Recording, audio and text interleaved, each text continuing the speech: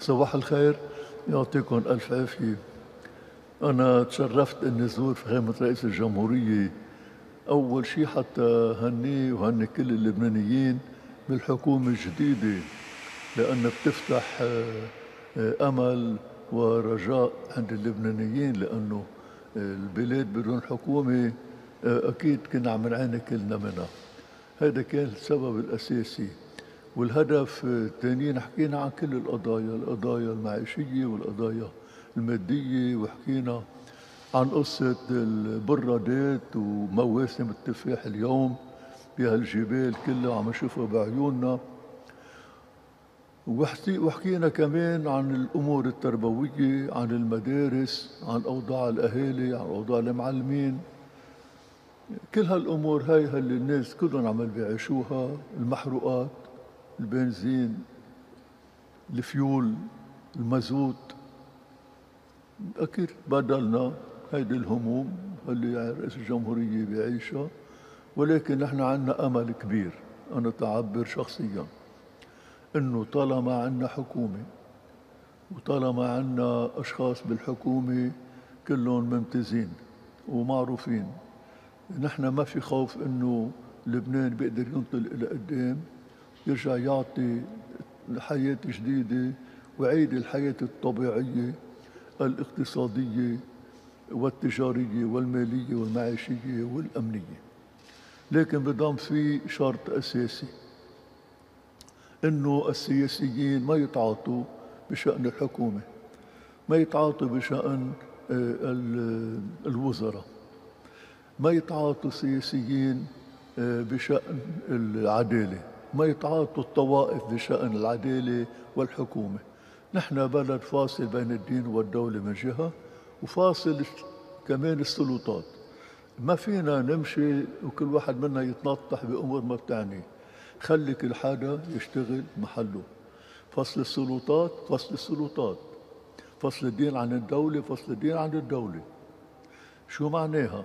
معناها إنه نحن كرجال دين نحن نتعاطى القضايا المبدئية. شؤون تختص بالإنسان؟ حقوق الإنسان خير المجتمع خير الوطن. بس ما بندخل نحن بالأمور الضيقة لا بالتعيينات ولا بغير شيء مش شغلتنا.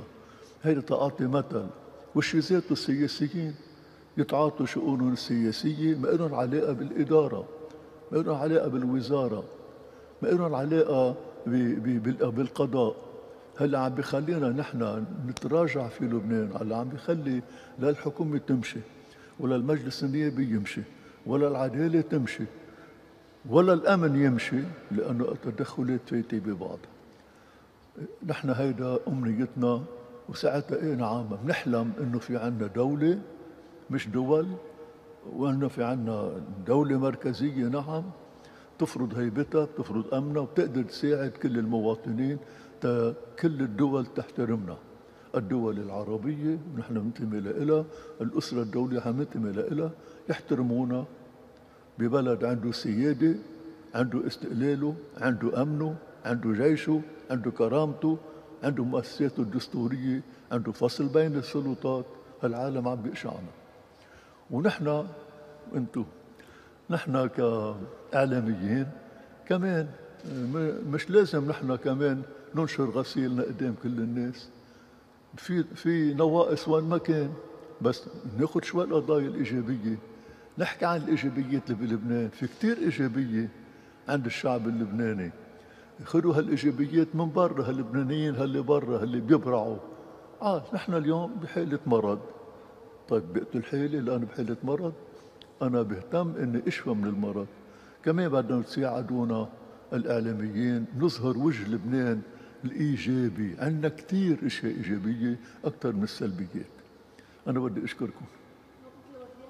تقرأ البيان الوزاري بنود البيان الوزاري؟ وهل تستطيع هذه الحكومة أن تحقق كل ما يعني ما, ما وردته في البيان الوزاري؟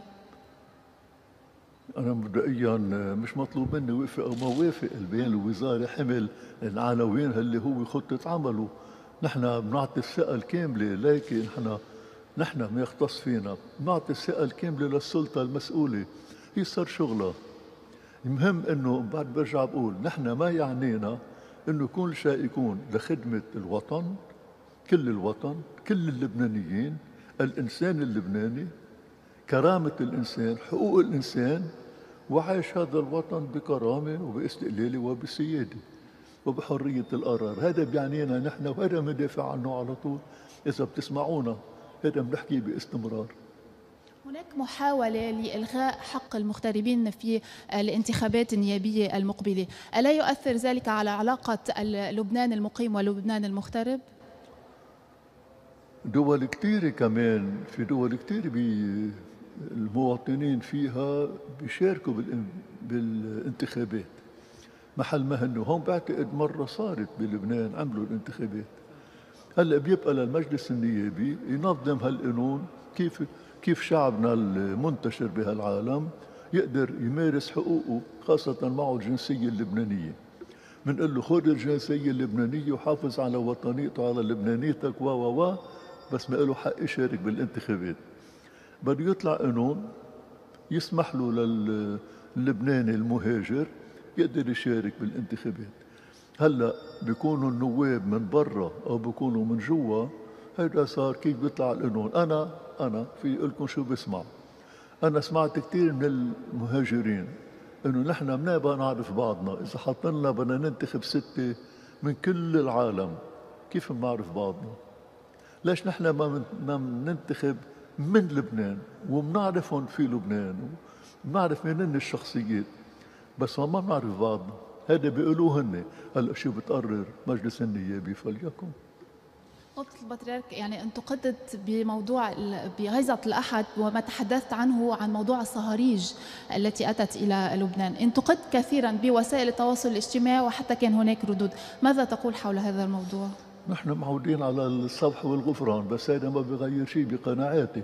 أنا حكيت حكيت عن السيادة اللبنانية وأنا قلت هذا مش مسموح أنه ما بعد في حدود بيننا وبين دولتين اللي هي سوريا. ومش مسموح يفوتوا صهاريج مازوت تحت آه، سلطة أمنية جيش سوري وحزب الله. هذا أنا سميتها آه، انتقاص للسيادة اللبنانية للكرامة اللبنانية ومعناتها ما في أي اعتبار للبنان. هذا مش مقبول أنا ما في أقبله هلأ شو بقول بالسوشيال ميديا؟ أو ما بيقولوا أنا هذا ما بغير شيء بقناعاتي. أنا لبناني مؤمن إنه لبنان عنده سيادة واستقلال وكرامة. لازم يحترم. هذا بطالب فيه باستمرار. مهما قيل ومهما كتب.